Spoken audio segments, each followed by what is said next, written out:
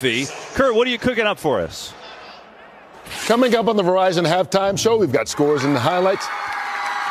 Jimmy, what was that? I paid the audio guy to spice up these promos. I guess that's nice of you. Yeah, and we'll see you at the half. Take a bow. I love how Jimmy just spicing it up. You know, you never know. We had Howie last week, Jimmy coming in.